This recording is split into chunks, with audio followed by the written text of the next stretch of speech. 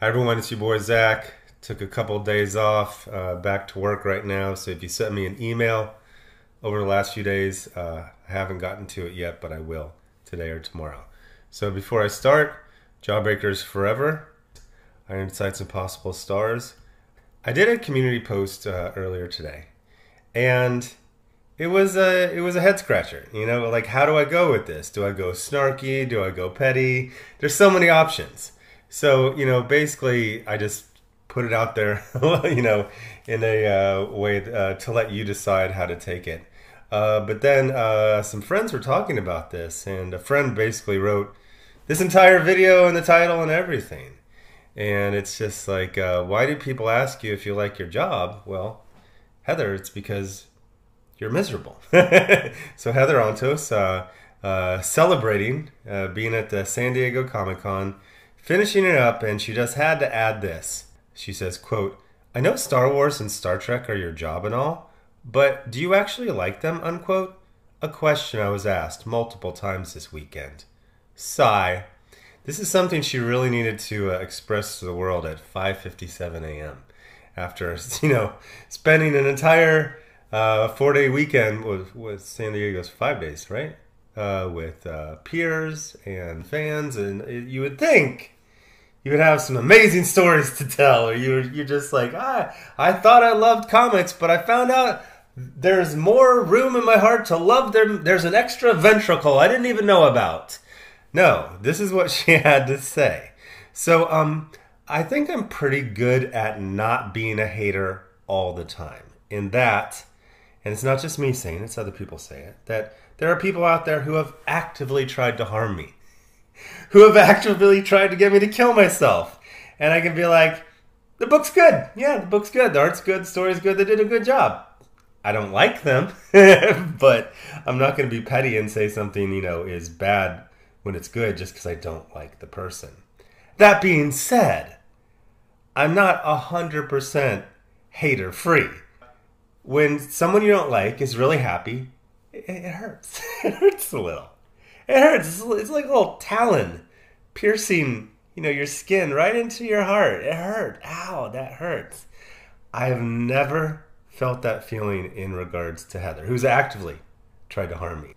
There's never been a time where I was like, gosh, she's so happy. That really hurts my heart. I've, I've, I've literally never seen her happy at all. I've seen her do the fake cutesy pie, Whedon speak, Twitter speak a million billion times, but I've never actually seen her happy at all and when it comes to discussing comics, geek culture, any of it. She is, it's, it's just not her thing.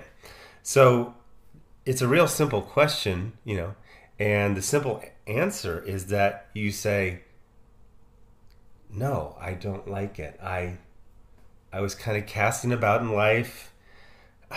You know, the the Marvel they wanted to hire women. I'm a woman. I applied. When I, I don't know. I don't know what, I, what do I do. What do I do?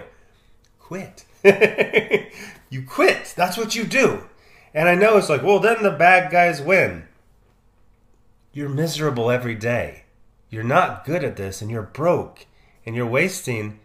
Okay, so not to freak out, you're going to get about 75, 80 years, of which you're going to remember about 70 of them. And this is, you know, this is an average. You can get a little bit longer, you can get a lot shorter. That's seven decades. Okay? So that's 14 half decades. Imagine your life. They're like, here's your life, all 14 chunks of it. And here's one chunk that was you just being miserable. Do you want to add more chunks of that just to stick it to that, you know, the bad guys? No. You leave. you leave and you do almost anything else.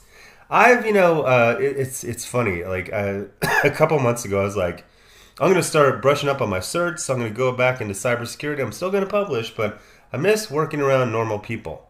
Holy shit! Everyone was horrified. They're like, "What are you doing? What are you doing?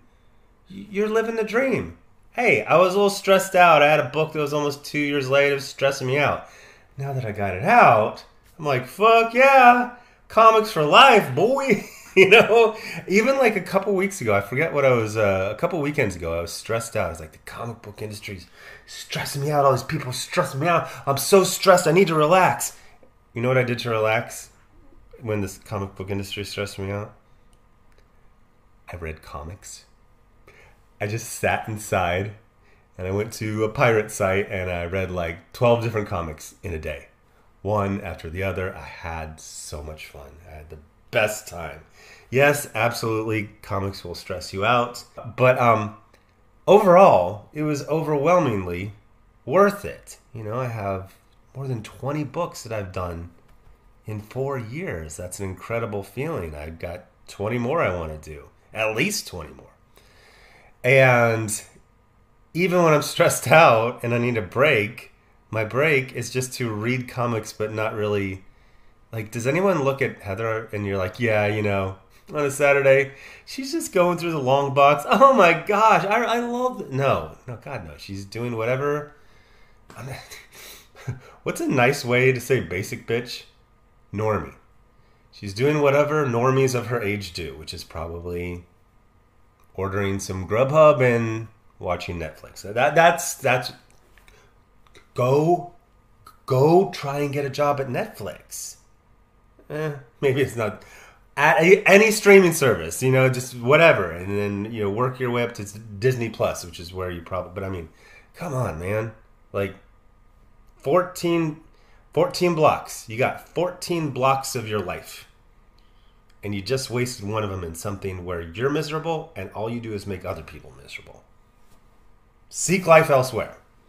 Anyway, Jawbreakers Forever, Iron Sights 3 Impossible Stars 2 combo campaign. Save 10% if you buy them both together, but you don't have to. You can buy them individually. Thanks for watching. Bye.